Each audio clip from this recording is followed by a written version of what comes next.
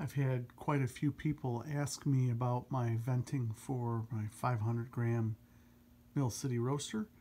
Um, so I thought I'd spend just a minute and review what I did, show you guys what I did, and then I'll have some links in the notes um, comment area below so you guys can take a look at that. Um, so th there's several options for venting um, your roaster. Um, I'm a home roaster. Uh, I'm down in the basement and I am venting through a glass block. So that's going to be one of the things that you'll need to think about is what are you going to be going through to vent out? Are you going through a roof? Are you going through a wall? Are you going through glass block? And I had to make that decision. And uh, so here we are with a glass block uh, system. And I'll show you exactly what I did.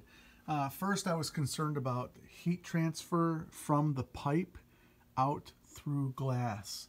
So I wanted to be sure that whatever I used, um, it would not be, this area here would not be so hot that I couldn't um, have it come in contact with any building materials.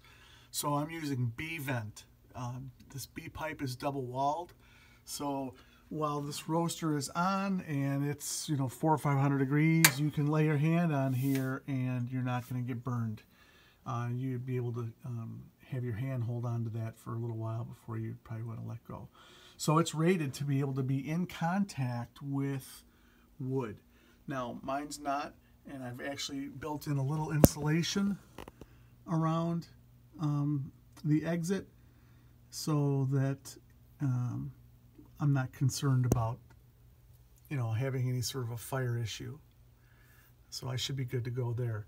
So this is Selkirk. That's the brand. You can get it through Home Depot or your local hardware store uh, can go ahead and order that for you. This is a three inch pipe and you're going to need a couple of elbows and some straight pipe.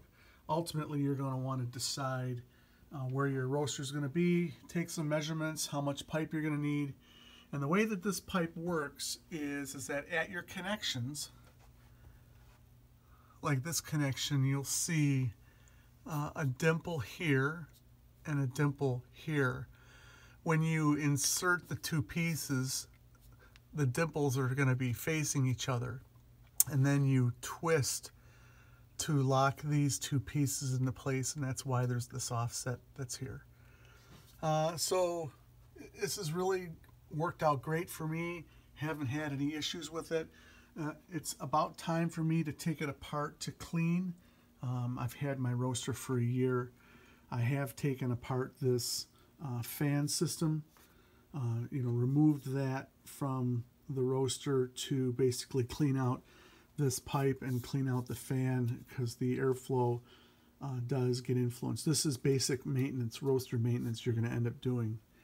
Uh, the other is you're going to be uh, adjusting the drum, where the drum, how close it gets to the uh, this front wall here. Um, but that's for another post. So I'm using Selkirk 3-inch B vent. This is a um, has a swivel adjustment here and here. So, you know, if you look at the way that this is pitched, you'll see that the pipe actually goes to the left.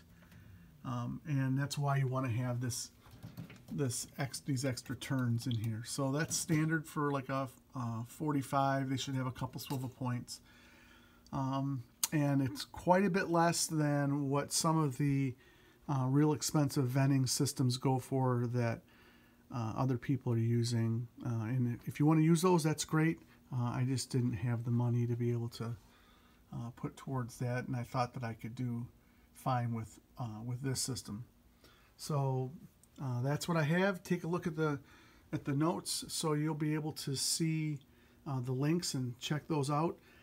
as always, you should be sure that you um, follow all safety procedures for your venting so that you don't have um, uh, poisonous gases, you know, carbon monoxide coming back into your um, work area. And you also want to be careful about fire.